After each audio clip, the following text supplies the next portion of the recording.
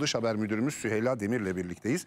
Ee, oradaki meslektaşlarımızın ciddi baskı altında olduğunu biliyoruz. Doğru mu? Çok doğru. Çok doğru. Bir kelime yasak Erhan Ertürk Nedir o o? da savaş. Savaş Yani diyemiyorlar. Yazabiliyorlar mı? Yazamıyorlar. Yazana ne Yazanlar e, yaptırımla karşılaşıyor. Ya yayınlarına son veriliyor e, ya da e, Rusya'daki yayınlarına son veriliyor ya da genel olarak kapatılıyorlar. Bunun gibi örnekler var karşımızda. Örneğin Dost e, TV, e, Rusya'nın bağımsız tek televizyon kanalı yayın hayatına son vermek durumunda kaldı. Kapattılar mı?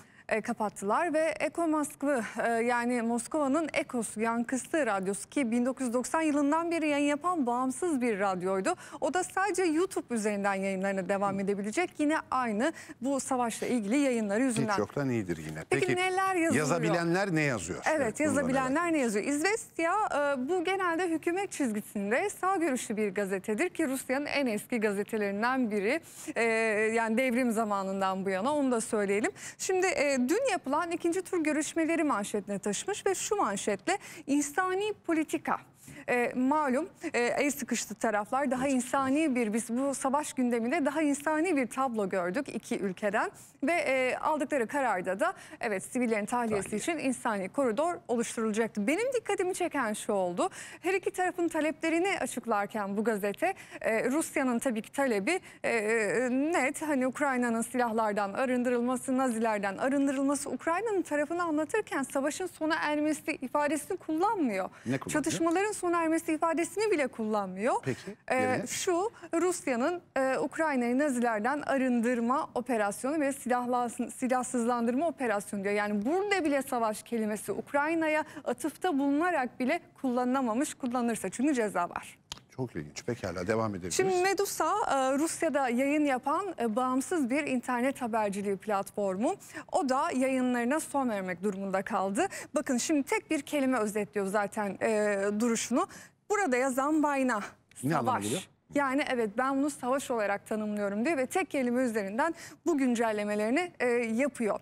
Başka bir şeye dikkat çekeceğim. Burada yanan kırmızı bir bölüm var. Orada da Medusa'ya yardım edin çağrısı var. Çünkü dediğimiz gibi Rusya'da yayınlarını yapamıyor ve zaten bağımsız bir kuruluş desteğe ihtiyacı var. Yani bu Rusya'da bağımsız yayın kuruluşlarının içinde bulunduğu e, durumu çok iyi özetleyen bir durum Erişim engeli geldi mi? Erişim engeli Rusya üzerinden geldi. üzerinden. Türkiye üzerinden ya da diğer ülkelerden e, İngilizce ve Rusça yayın yapabiliyor. Zaten Bu yolunu haber bilenler sitesi. her şekilde ulaşabiliyor. İnternet, Ulaşabiliyor, o da internet doğru. Kolay değil durdurmak. Peki. şimdiki durağımız Nezavismaya gazetesi olacak. Az önce de sizin de konuklarınızla konuştuğunuz bu e, nükleer santraldeki çatışma, işte sabotaj mı ne buna Rusya açısından yaklaşan bir haber. Şunu söylüyor e, Nezavismaya gazete.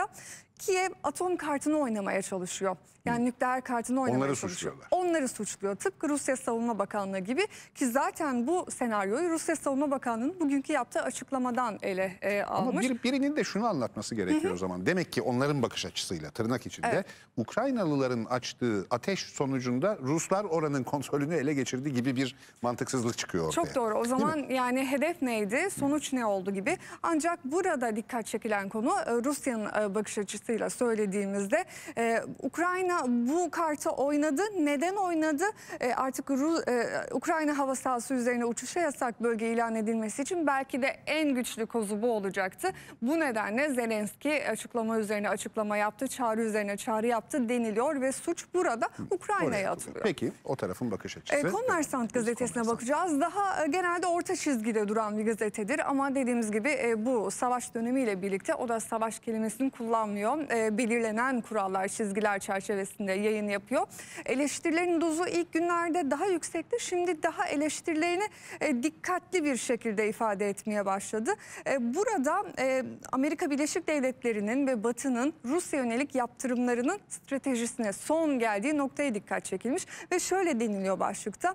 Amaç Putin'e ve Rusya'ya en yüksek derecede etki etmek. Yani yaptırımlar yoluyla Putin'i ve Rusya'yı etkilemek Ee, ve son olarak yaptırımların ulaştığı noktanın da Putin'in çevresindeki oligarklar olduğunun altı çizilmiş ve hatta Biden'ın sözlerine atıfta bulunarak Rus halkının parasını cebine dolduran e, oligarklara da yaptırım uygulayacağız demişti Biden. İşte böyle bir tespit var burada. Peki, geldik son durağa. Bayrağa dikkat çektiniz mi yalnız dikkat ettiniz mi? Ee, dikenli telin ardında hapsolmuş adeta zor durumda bir Rusya var. İşte belki de anlatmak istedikleri bu Bu fotoğrafta. bir çizim değil. Gerçek fotoğraf. E, fotoğraf doğru. Tamam.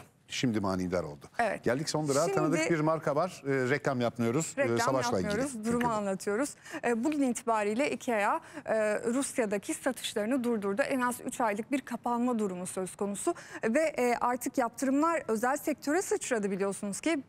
Birçok dünyaca ünlü marka Rusya pazarından çıkıyor. Ve işte e, Novaya Gazeta'da muhabirlerine bir IKEA noktasına yollamış. Ve Rus halkının bu İsveçli mobilya e, markasıyla, mağazasıyla nasıl vedalaştığını göstermiş. Bakın akın var. Çünkü Ruslar birçok e, şeyden mahrum kalıyorlar şu anda. Birçok üründen, birçok hizmetten işte nasıl vedalaştıklarını görüyoruz burada. Kapanmadan önce son alışveriş mi bu? Kapanmadan önce son alışveriş. Bir de not düşelim. Bu gazetenin genel yayın yönetmeni Nobel Barış Ödülünü kazanan isim e, Dimitri Muratov. E, ve son yine bir saatin haberi Novaya Gazeta'da artık haberlerinin dilini değiştirecek ve de Rusya'nın kurallarına takılan, sansürüne takılan haberleri yayın e, sitesinden kaldırma kararı aldı ki e, çalışanlarını koruyabilmek adına. Ki Şeyla teşekkür ederiz. Ana haber bülteni devam ediyor. Rus savaş uçakları. Az ileri bomba bıraktılar.